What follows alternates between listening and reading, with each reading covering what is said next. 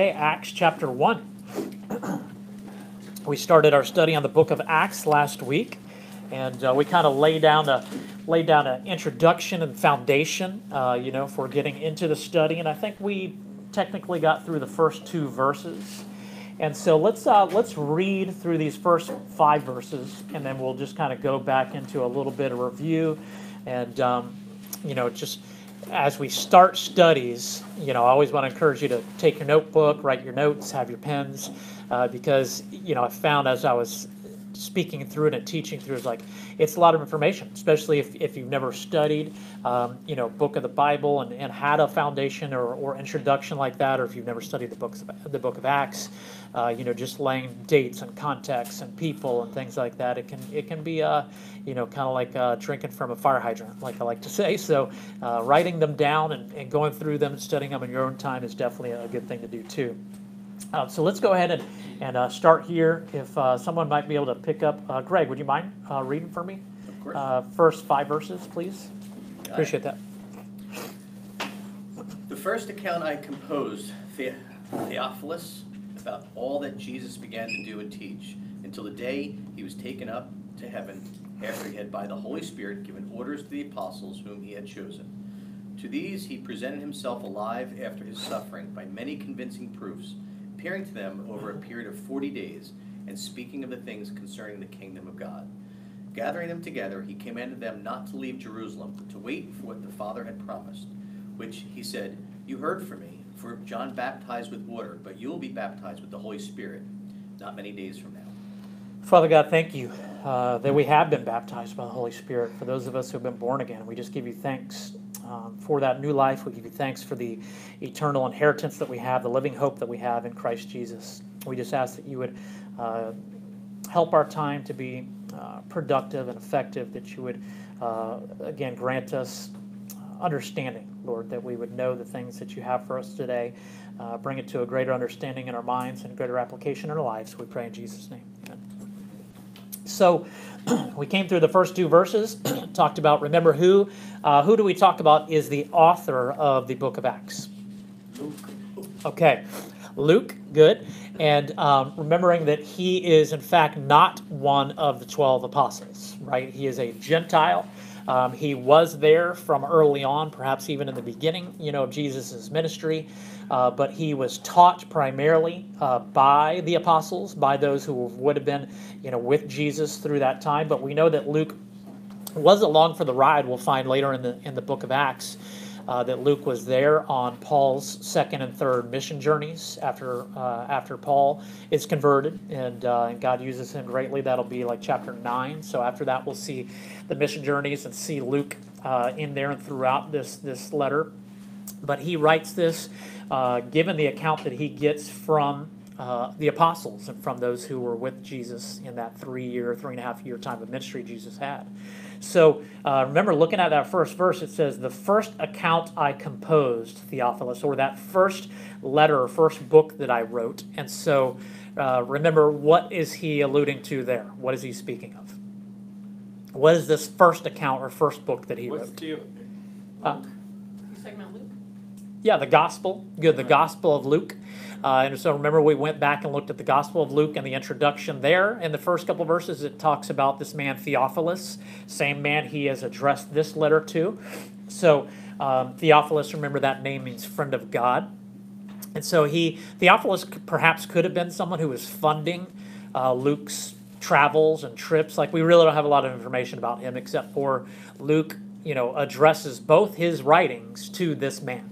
Uh, so he has instructed and told Theophilus, and through Theophilus, us even some 2,000 years later, uh, of in that first letter, remember, of Jesus's doings, as it says in verse 1, what he did and what he taught. And so uh, that's what the first letter was about. And then this second letter is going to be about now uh, picking up the baton, if you will, from that point on. The, the Gospel of Luke talks about the, the life of Jesus and the death and burial and resurrection at the very end of Luke's Gospel. And then the Gospel of Luke ends with the ascension of Christ into heaven. Well, here, the book of Acts picks up right there with the ascension of Christ and moves forward. So we're now moving forward into church history. And that's really this book of Acts is written in about 62, 63 AD. So if we think of Jesus' life ending, you know, around, say for a round number, 30 AD, you're talking about 30 years. So this book of Acts is the historical account of the first 30 years of the New Testament church. So it's pretty amazing. And that reminds me of something that, that, uh, that Brian talked about last week to remind us as we move forward, and which you'll keep getting the reminder of it through the Holy Spirit and through, through Brian and Steve and I, that a lot of the things that we see in this book are so remarkable because that was a unique time. That first 30 years that we have the, the, the writing here of, you know, there's all these miracles and people being even raised from the dead and just amazing things that are happening at the hands of the apostles. Um, and so a lot of those things we don't see as typical or normal uh, in the church, and so uh, they're not something that are prescriptive for us. That is something that we should seek to do, or that we are able to do, in the sense of I understand God is able to do anything He wants, right? So He's able to use anyone He wants to, uh, you know, lay hands and pray to somebody, and that, that they would get healing. And if God chooses to, He could heal them, but we don't see them in the way we see them in this book. So we're going to see a lot of remarkable things and uh, and that just speaks to the power of God. And and remember that this again was a unique time, so God was using those things to show the power of these apostles, which remember speaks of someone being sent. Uh, apostolos is the is the Greek word there, and it means a sent one. It means to be sent under the authority of someone else.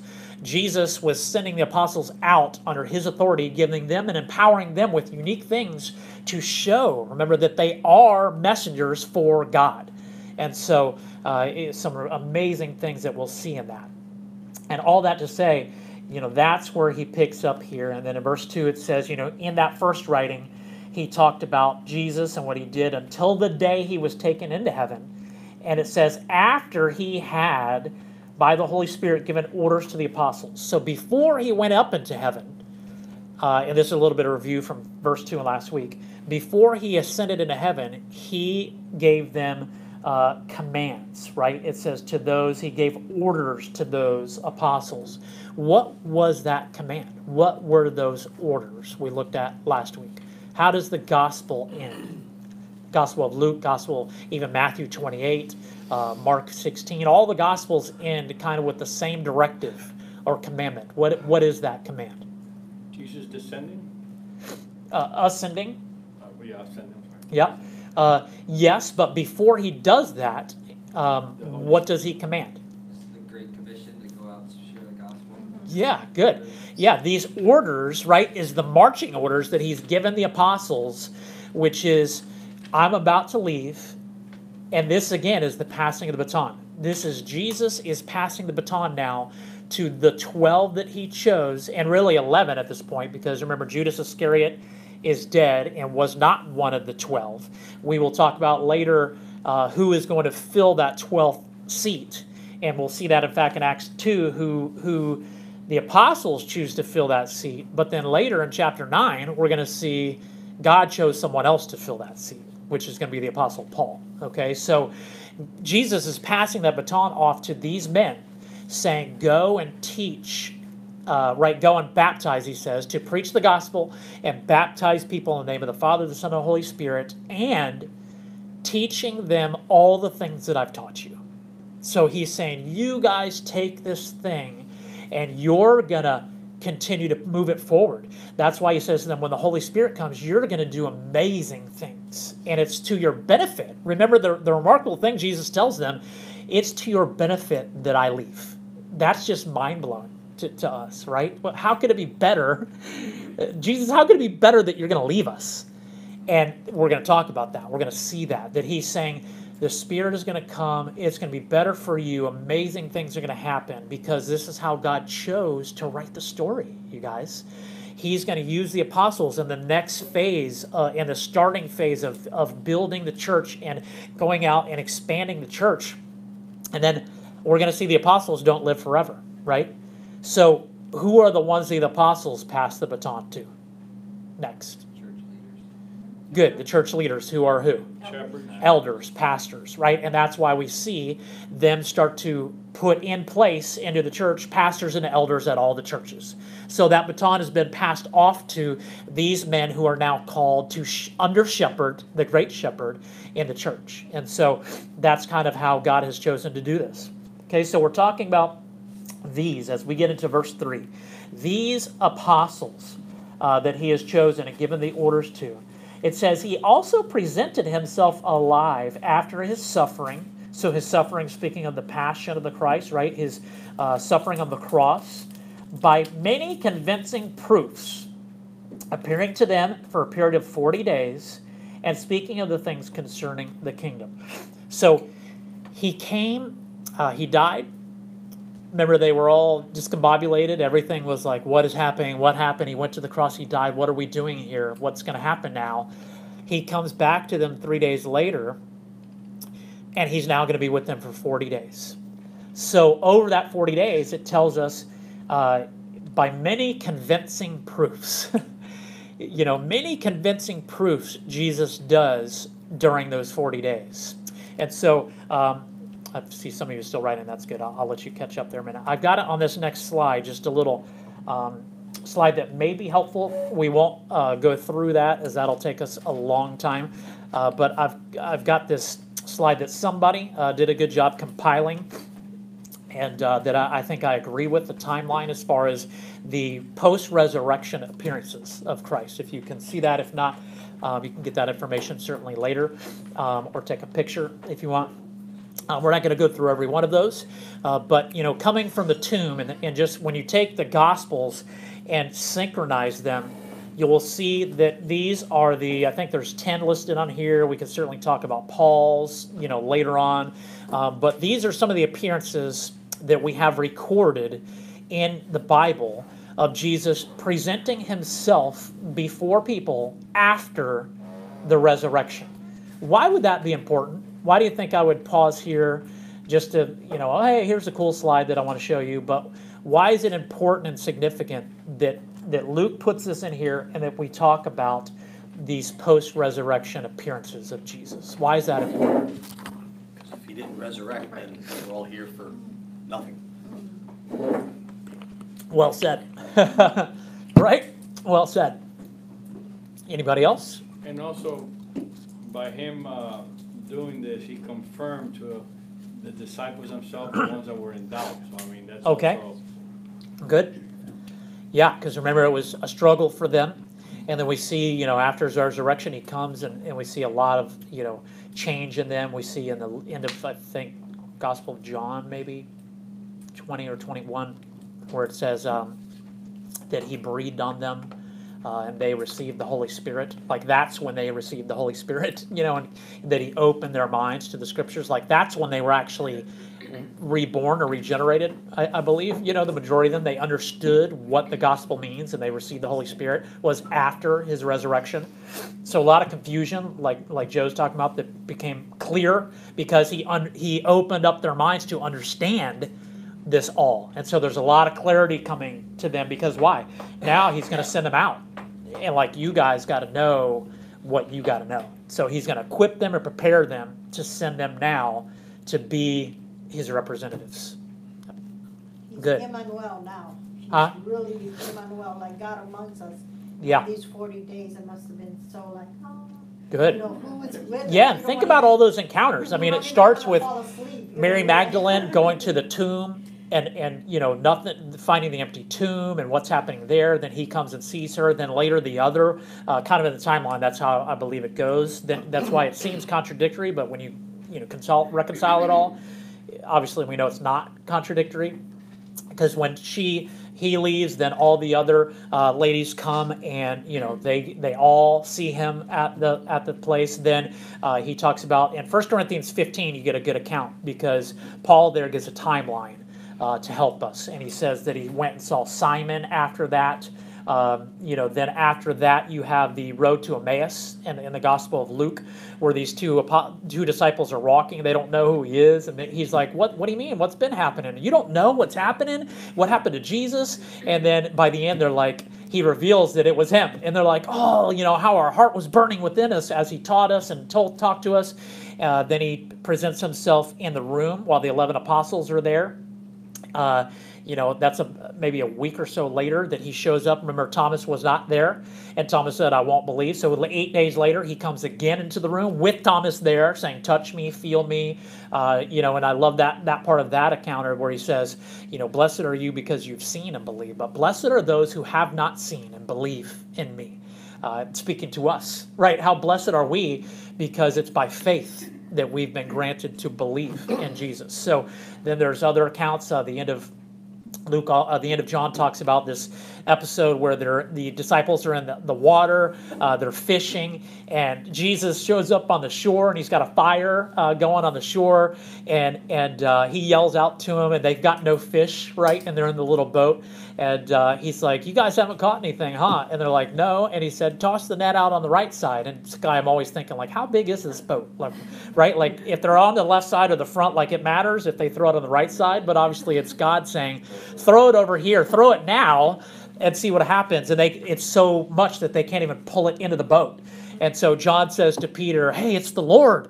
And Peter just, you know, puts his clothes back on and jumps in the water and swims to the shore, like just being Peter, right? And so the, all of the other guys get there drying the boat. Uh, and Jesus says, you know, bring some of those fish. He's already cooking fish on the fire. He eats breakfast with them. Uh, so just a lot of things there. He goes to see James, um, his his half brother, and perhaps some of his other relatives. Then uh, at the end there of the, the Gospel of Luke, we have the Great Commission, where he is gathered together. Uh, there's also a gathering of over 500 people at one time uh, that is talked about in 1 Corinthians chapter 15. Uh, and then when he gathers them at the end to, to tell them, here's what you are called to do, here's what your job is now. And then we now pick up Acts when they're going to see him now in, in the verses in the, in the next coming weeks go into heaven and, and leave them. And, uh, and so significant because of all the things you guys have said that he's convincing them or equipping them is really a better word um, and, and equipping them to, to go out and understand greater what their purpose is. And so um, what was it that Jesus was doing at this time? All those things you guys said. And also, look at the next verse appearing them for over 40 days, speaking of the things concerning the kingdom of God. So he was speaking of the things, still teaching them of the things of uh, the kingdom of God. That was the purpose of this visitation. This 40 days was to kind of teach them the last minute things, if you will. The final exam is coming, and you're in class, and it's the last week, and, and the, the teacher is saying, like, here's the things you definitely need to know that are going to be on the exam. You better have your notebook. You better be writing this down because these are the things I'm telling you now as your teacher, and I know the test. You need to know these things as you're going to be prepared to, to be tested. Yeah, Sky. Um, did you say that Luke was not an apostle? an apostle? Correct. Yeah, he's not one of the 12 apostles. He is a disciple. Um, and sorry, I, we talked about that a little bit last week. Yeah, I've heard you say it, I just want to make sure. I. Yes, sir. Um, and, you know, neither was John Mark, who wrote the Gospel of Mark. Uh, so when we think about, oh, the disciples, we kind of go Matthew, Mark, Luke, John, and go through the books of the Bible. But the 12 are the ones who are listed in, I think, John chapter 6, Matthew chapter 10. Um, you can look and see the 12 listed there. Um, you know, and, and those are the 12 that he chose, which would be, uh, you guys probably help me here, Simon Peter and James, his brother. Uh, uh, sorry, Peter and um, uh, Andrew, sorry, the brothers. Simon, Peter, and Andrew, brothers. James and John, uh, brothers. There's another James, son of Alphaeus. There's another Simon, the zealot. There's uh, Philip, Matthew, Thomas, Bartholomew, Thaddeus, uh, and Judas Iscariot. So no Luke, no Mark. Some of some of the names we think of, like those weren't in the twelve. They were. Remember, he has hundreds of disciples, but they weren't the twelve of the twelve apostles. He wasn't one of those. And Correct. who replaced Was Judas Mark again? Jewish? What's that? Who replaced Judas again? I forget. Uh, Matthias. We're going to get in that in Acts chapter two. Yeah, Was- Matthias was the one chosen to take his place, but really we'll see. I think God chooses Paul to replace him, as we don't. Ah, good point. Um, they casted lots and chose Matthias, but he's going to be replaced. And Luke was the only Gentile or Mark also? Of not being apostles? I mean, he had lots of Gentile disciples. Huh? He had lots of Gentile disciples.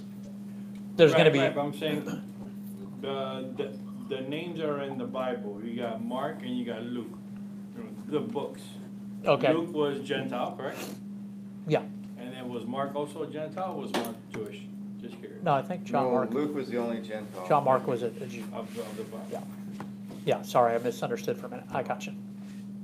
And then also, since we're already talking about it, how, can you compare the, the forty days of Christ being on earth? Does it have any resemblance to the forty days of the, of, uh, you know, the forty years also for, uh, you know, the, the number forty is, you know, with, uh, Yeah. temptation, right, forty days? Temptation. Is there anything, is, I mean, just The curious. number four. No, it's a good question. I mean, when you do kind of studies of numbers, you know, you can talk about three or seven or 40. There's definitely Uh, there's- repetition, which is, you know, funny, not funny, uh, haha, but just funny because that's been in my brain. And uh, I'll talk about that a little bit in the sermon uh, next hour. Just that repetition of, of things that we see. Yeah, there was 40 years in the wilderness, 40 days in the wilderness for Jesus. And that means um, probation, right, that's what he said, right? You know, so 40, um, you know, 40 days here. Um, but to, to say, you know, uh, to speak intelligently, I guess, into the mind of God to say why that is, I don't think any of us could do. you you know, um, but perhaps, you know, some symbolism there. I'll Um, ask Brian next time. hey, he's sitting right there. Always welcome to chime in. Uh, he's trying to make. Yeah, there, there perhaps could be some symbolism there, but uh, you know, I don't have any that I'm going to Okay. draw any parallels to or anything right, right as of now. Um, yeah, good things to study and, and look into though. So, yeah, he's equipping, he's encouraging, he's preparing them. Uh, you know, and and that's going to be the rest of this letter, the rest of this book is going to be now about what we're talking about the next passing of the baton. We're going to see happen in the book of Acts over this 30 years that we're going to talk about.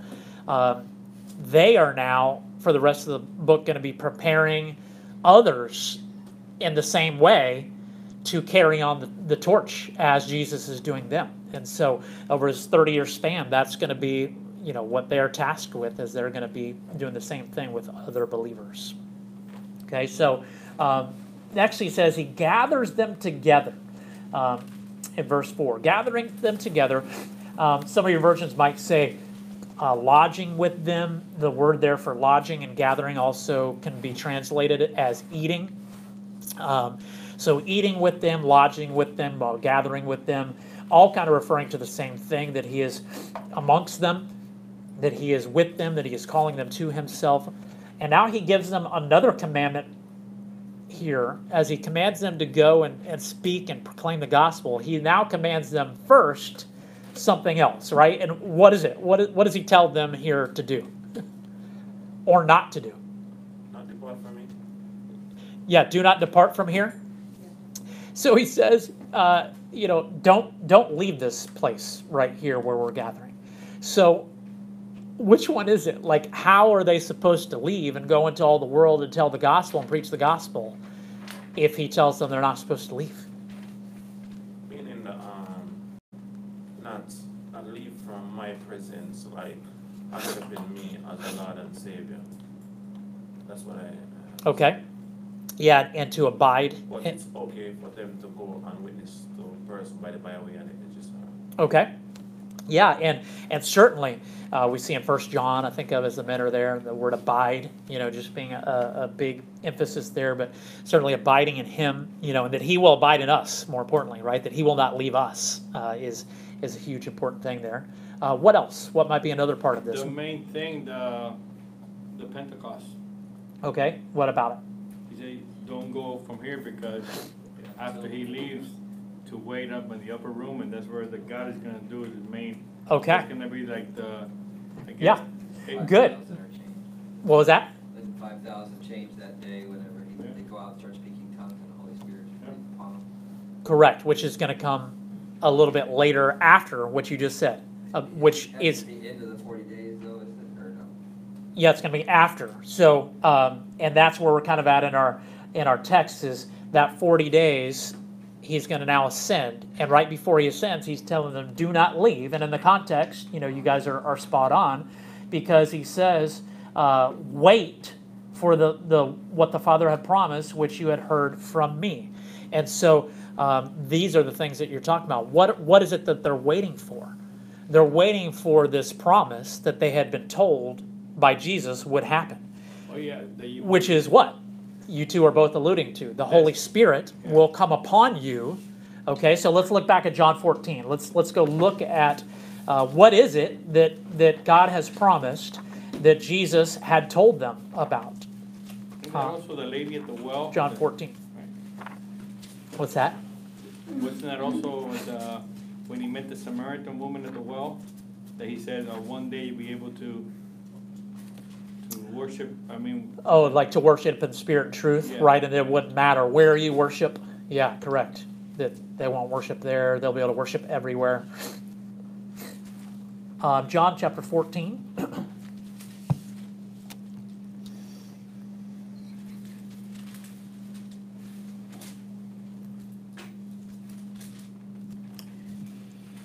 this is a, a good little section here, but if somebody wants to read it for us, I think it's going to be helpful and beneficial. If somebody wants to read from verse 16 to uh, 26. Anybody game to do that? Dean? Yeah. Thank you, brother. I will ask the Father, and he will give you another helper, that he may be with you forever. That is, the Spirit of truth, whom the world cannot receive, because it does not see him or know him. But you know him, because he abides with you and will be in you. I will not leave you as orphans, I will come to you. After a little while, the world will no, longer see me, but you will see me, because I live, you will live also. Okay, pause. So the world will no longer see me, obviously referring to his ascension, that he's about to depart and leave. But yet, I will still be with you. Uh, and speaking there in the verse, end of verse 17, the Holy Spirit will be in you. Okay, thank you. Go ahead. In that day, you will know that I am in my Father, and you in me, and I in you. He who has my commandments and keeps them is the one who loves me, and he who loves me will be loved by my Father, and I will love him and will disclose myself to him. Judas said to him, Lord, what then has happened that you are going to disclose yourself to us and not to the world? Jesus answered and said to him, If anyone loves me, he will keep my word, and my Father will love him, and we will come to him and make our abode with him. He who does not love me does not keep my words, and the word which you hear is not mine, but the Father's who sent me. These things I have spoken to you while abiding with you. But the Helper, the Holy Spirit, whom the Father will send in my name, he will teach you all things and bring to your remembrance all that I said to you. Okay. God bless you. So there's the, you know, there's the word, there's the promise, there's an account of what Jesus had told them, as he's saying here in Acts before he leaves. He's like, wait here, because the Father's going to send you the promise that I told you about. Okay, and remember the things that I've told you, and and that's one of the uh, that's one of the jobs. That's one of the things the Holy Spirit does. He tells us right there in, in that text that the Holy Spirit will bring to to your mind and remind you the things that I've told you, so that you will remember those things. And so uh, that's important because you know you think about this at the the very beginning stage and where they are uh, about to be the beginning stage of Jesus' is leaving. I mean. Um, he's looking at these guys. You know, I'm just thinking of the room myself and looking and seeing Peter and going, look, we're just getting ready to kick this thing off. Don't go out there and blow this thing, Peter. like, don't go, don't go under your own power and go blow this right off the get go. Like, wait until I send the help that you need uh, to go do this thing the way we need to do it. Um, right, and I think I think it's that's kind of our human perspective that I have is that's what we're talking about because in Peter's power and in my own power, I can do nothing, uh, and, and so he's telling them, uh, you know, the team is ready. Uh, I've prepared you. You're about to go out on the field and play, but do not go out there until I put the quarterback in the huddle because you guys don't know how to run the play, you don't know how to execute it without the quarterback, who's be a direct link with the coach, right? And whatever, uh, it's not a perfect analogy, it's just one that comes to mind. Uh, to say the quarterback needs to be out there to, to guide every single person on that field, to put them where they need to be, and he will be the one that will throw you the ball so that you can move the ball down the field and we can do this thing. Right? Does that make sense? So don't go yet. He's saying, be ready, be ready to go, be ready to go, but wait, not yet. Don't don't leave yet. Uh, and so, That's a good Uh-huh. way. You could also add to it that Peter gets the ball on the first. Oh, here we and- go. And goes forty yards. uh, here we go. Oh, 40 yards. It's a 40 yard pass. Excellent. Excellent. Good. Wait, the extra kick for seven. What, what? And they score with the extra kick. It's a 40 yard field goal. Um, okay, we can go with this one. We got 10 minutes. We've got one coming up that I know we will not have time to get into. We'll do that next week.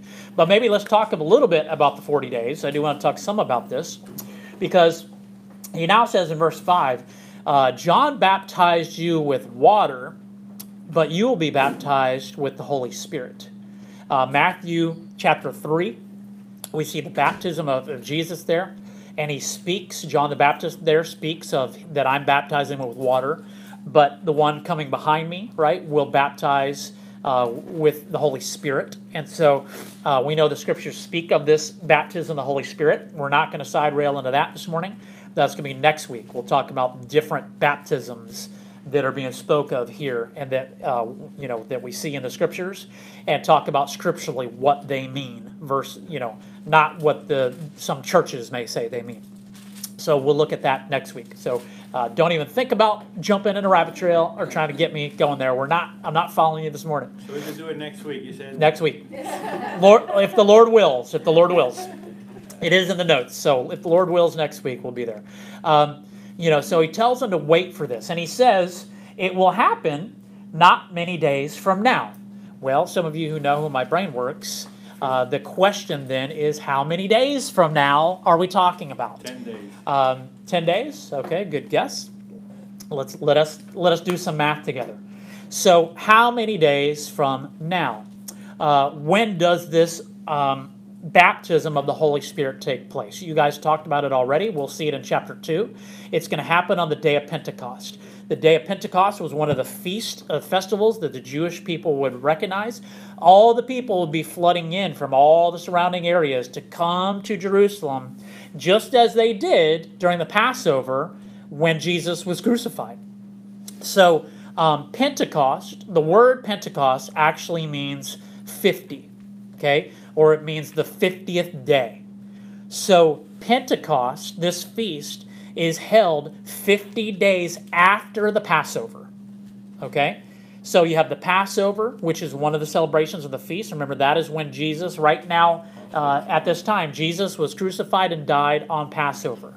50 days after Passover would be Pentecost. Are you following me? And that's how they kept it forever.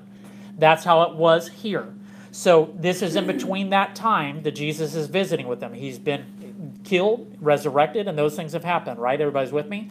So let's break down these 50 days. Because we know the scriptures give us 50 days Passover to Pentecost. The Holy Spirit comes on the day of Pentecost. Jesus killed on the Passover. So we have the, the timeline 50 days. He died on Passover, raised three days later, right? There's three days. How many days do you spend here on the earth with the disciples? 40. That gives us how many days left? Thirteen. That, that's 43 days so far. I know, public school math. Let me just put it on the board. Let me put it on the board so we don't get all confused. But I think 40 plus 3 is 43. 50 minus 43. Craig and Caitlin, you guys went to public, uh, private school. Come on, tell us. What is 50 minus 43? Seven. So we've got seven days defined here as the, it will happen not many days from now. So we've got one week that they're going to be in that upper room that we're going to look at later. So we know that's the time frame in our mind that we're talking about. Does that make sense? Yep. And as you see, next slide, different baptisms. Oh, not today. Sorry. Yeah, we're not doing that now, Jose. We're not going to get that accomplished in five minutes. And uh, there's going to be much questions and dialogue to that now, I know. Uh, but are there questions and dialogue pertaining to what we're talking about here this morning? And maybe we can wrap a big bow of application on it for us before we before we finish. And so um, everybody understands that the 50 days. We understand why it is he's telling them to wait for the Holy Spirit. So maybe some application in the realm of of that.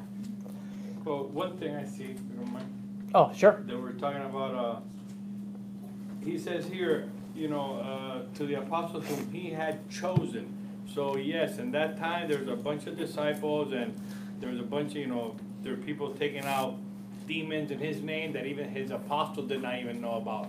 Remember that, that he says, hey, who are those guys? He says, hey, don't worry, they're good. Yep. But here, it, you know, the beginning of the church is so important because he Excuse handpicked eleven, it was twelve, but one, he handpicked the, you know, God handpicked and gave to him. So it was like to be as, you know, we're watching the history of the beginning of the church, period. You know, there's Yeah. no, oh yeah, they did this, okay, this is like the fundamentals of the beginning of the Everybody good with slides? I'm going to shut it down. Um, yeah, exactly. That is what we're seeing in this historical account. Yeah, Sky. And from that point on too, like when it was handed from the apostles to the church leaders and pastors and, and so on and so forth, that's when, I feel like that's when like the, the branches of the tree started growing out and, and that's when little changes started happening in, in what was meant to be spread along. And that's when like the human frailty came in. and, Sure. we got letters to different churches and Yeah. Like that happening. The gro- the like the growing pains, right? tele- Like the telephone game, you know? like- Yeah, right. And these letters, like you said, are speaking to the growing pains the church was going through with Jesus being gone. the warnings of Yeah. apostate churches and the, you know. Yeah. As you said that, um, you know, I want to draw maybe some application from what you guys are saying. Um, that the pastors, the church leaders, but all of us, you know, as followers in Christ, going back to the apostles and their need uh, for the Holy Spirit. I mean, that is that is our reliance. That is what we need. We cannot do these things in our own power. We wrapped up, remember Ephesians, our studying Ephesians, and that putting on the whole armor of God. Remember, starts in verse 10 there saying, Be strong in the power of his might. Uh, that the Holy Spirit is the one who strengthens us and empowers us to be able to preach, to be able to teach, to be able to speak to people, to be able to minister to people, to be able to do the things that we do in His name and for His glory. And so we've got to understand and recognize our, you know, desperate need of reliance upon the Holy Spirit. You know, uh, we need that. I need that this morning as as I'm teaching. I need you guys to have that this morning in our conversation. Uh, I need that next hour in the preaching. You need that, you know, as you go about your day with your family later. Um, you know, as you go to visit um, a friend or someone in need later. Like, it, it just is, you know, the fuel for us. Uh, you know, it's it's not anything that we have within us, but it's because of, like Kennard alluded to, that He is with us, and that we are to abide in Him, because He abides in us. And so we've got to show that um, by doing the things He's commanded us to do. As we look at the apostles here, and He's telling them again, do do the things that I told you to do, but wait, because I'm telling you to do this first. Then go do those things. Like here's an order, but these are all commandments. And back to John saying, uh, Jesus in the Gospel, John saying. Uh, those who keep my commandments are those who love me, and those whom I love, and those whom the Father has loved and given to me. And so, if you're one of those, then you are ultimately dependent upon everything in your life on the Holy Spirit and the power of God. And you'll, you'll consult with the Holy Spirit, you'll consult, you'll pray on it, you'll, you know, first things first, you know? Good. That's like, uh, when you go, you try to to spread the gospel to someone else, you know, ask for his help first, Yeah. then go forward. Good. It's just like bringing it back to the Bible, you know, like, this is, this is the closest thing to the roots of the tree that we got, Yeah. other than our prayer, ob- obviously, second to our prayer. uh, Yeah, I mean, this is it. You're right. This is the word. That's what we've got. They had it differently, uh, and we have it differently now, but we have the same spirit. Same spirit that equipped them to be sent out is the same spirit He gives to you that equips you to also be sent out. I feel it's somewhat like Peter that you were describing, like, and trying to get ahead of that often. And so it's a good reminder always to me, and when we're doing, studying this, to just remember God's timing in all things from the beginning to now, and that He always has a plan. They're always, like, and they didn't understand any of that, and I know that I don't understand any of it now. You know what I mean? And just to always remember, He has a plan, it's His timing. Yeah. Something's coming, but to be patient and wait on him, wait on the, the prompting of the Holy Spirit, because that's what he's providing for me to go on and Yeah. his word and. Good. whatever. I'm, can see myself as Peter. I think we all can, back then, certainly. it was So we all got, word of mouth. we got wrapped up. Imagine that, now we got, I could text you something, fax you something, whatever. You know, back then it was word of mouth, so hey, I heard this, that, and then I could see that the struggles they had, not struggles, but as far as for you to go into a town and say, oh yeah, we heard about Christ, like, it just happened, where, where you, you know, it was like, it was hard, it was, it was simple, it was pure, it was just, you know, and it was an act of a disciple and an act of an apostle. Everybody had a little apostleship. I'm sending you. The apostle told the disciple, and the disciple told another, dis- you know, converted the disciple. So it's a big, you know. Pyramid spider- scheme. Yeah, yeah. only not a scheme. Yeah. Yeah. Good. Thank you so much. We've, uh, we've got to close, so let's, uh, let's do that. And, uh, um, maybe, uh, Sky, would you close for us?